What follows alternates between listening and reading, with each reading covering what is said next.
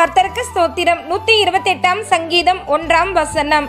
கர்த்தருக்கு பயந்து அவர் வழிகளில் நடக்கிறவன் எவனோ அவன் பாக்கியவான்.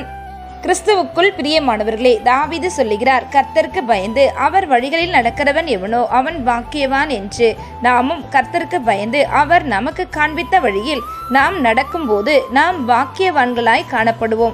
வேதத்தில் நாம் பார்க்கிறோம் நானே வழியும் சத்தியமும் ஜீவனமாய் இருக்கிறேன் என்று நம் ஆண்டவர் சொல்லுகிறார். அவருடைய வழியில் நடப்போம் என்றால் ஆசீர்வதிக்கப்படுவோம். கர்த்தர் தமக்கு பிரியமானவர்களின் வழியை அவர் சீர்தூக்கி பார்க்கிறார். தேவ பிள்ளைகளே நாம் சரியான வழியில் கர்த்தருக்கு பிரியமானதாய் நடந்து போகிறோமா? நம்முடைய நடைகள் எண்ணங்கள் சிந்தனைகள் எல்லாம் கர்த்தருக்கு பிரியமானதா இருக்கிறதா?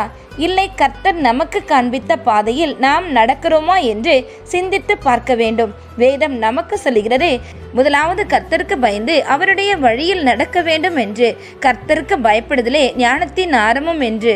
அவருக்கு பயந்து நாம் நடக்கும்போது நம்மையும் அவர் வாக்கியவான்களாய் வாக்கியவதிகளாய் ஆசீர்வதிக்கிறார். நம்முடைய வழிகள் தாறுமாறாக அல்ல கர்த்தருக்கு ஏற்ற பாதையில் நாம் நடப்போம் என்றால் வேதம் சொல்கிறது உமக்கு பிரியமானதை செய்ய எனக்கு கற்றுத்தாரும் என்று.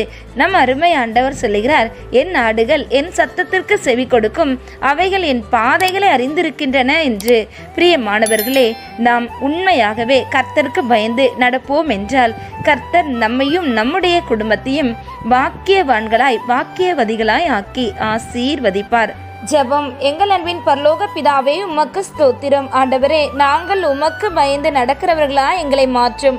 கர்த்தருக்கு பயப்படுகிறவன் இவ்விதமாய் ஆசீர்வதிக்கப்படுவான் என்ற உமது வார்த்தையின்படி எங்களை நடத்தும். இந்த வார்த்தையை கேட்டு கொண்டிருக்கிற உம்முடைய பிள்ளைகளை நீர் ஆசீர்வதியும். உமக்கு பயந்து நடக்கும் அவர்களை வாக்கியவான்களாய் மாற்றி ஆசீர்வதியும். தேவன் நாமம் மகிமைப்படுவதாக இயேசுவின் மூலம் செபிக்கிறோம் எங்கள் நல்ல பிதாவே. ஆமேன். God bless you.